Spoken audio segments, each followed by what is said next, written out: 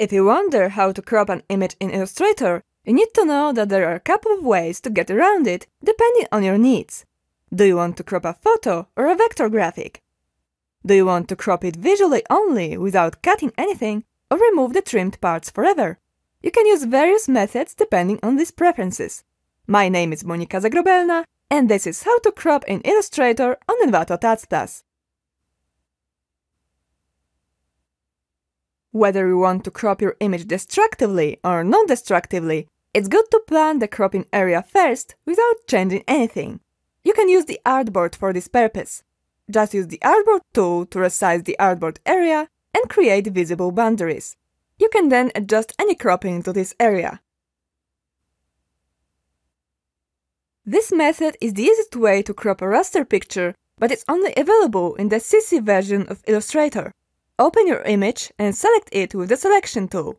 Then move to the upper bar and select Crop Image.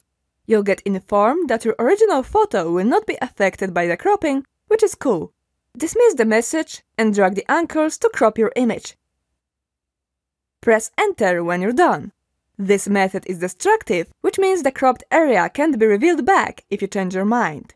You can also use this method to crop a vector image. The trick is to embed it as a new file rather than try to crop the original. To do it, create a new file and go to File, Place, or simply drag the image into the artboard. Illustrator will let you crop it without any problems.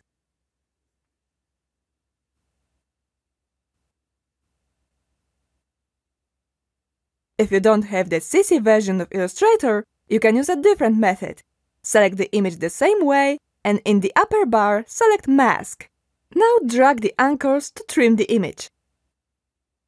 The effect is pretty similar to the previous method, except here it's non-destructive. The trimmed parts are still there, they're just hidden. To bring them back, go to Object, Clipping Mask, Release. You can easily crop any image, raster or vector, by exporting the picture to the raster version. Go to File, Export, Export As, and select a raster format like PNG. Check the Use Artboards option.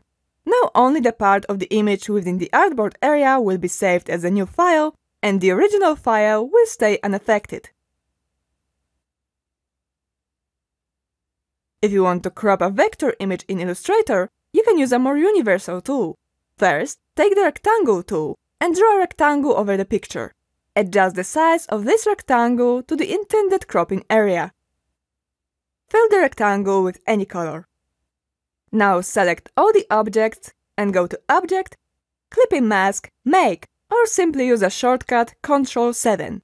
This is a non-destructive method, so the cut parts are still there and can be edited at any time.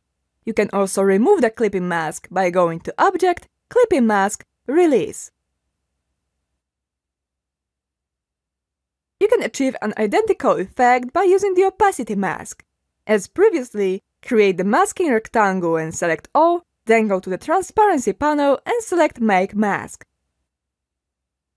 You can also easily release the mask in this panel.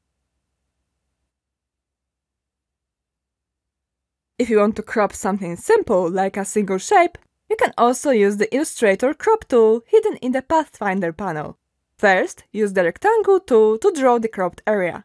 Go to Window, Pathfinder.